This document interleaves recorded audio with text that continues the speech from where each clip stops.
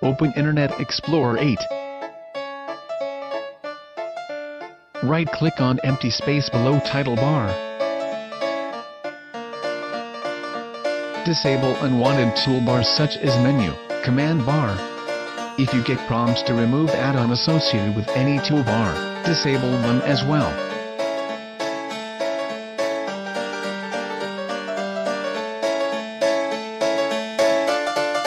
Close the Internet Explorer. We'll Manage add-on from Control Panel as doing it from IE8 can be frustrating.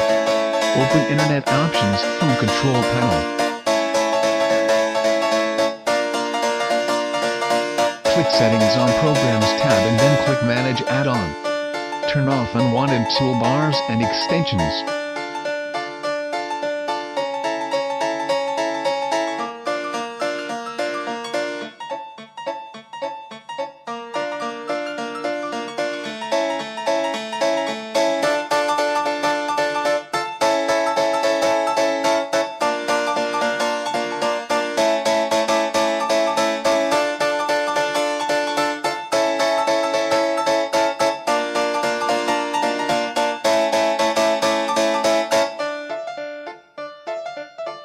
Close the box.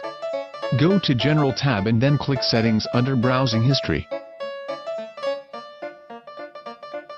See if the option to check the stored pages is set to automatic and that Apple cache size is set. I recommend around 250 megabytes for proper caching of pages that you visit regularly.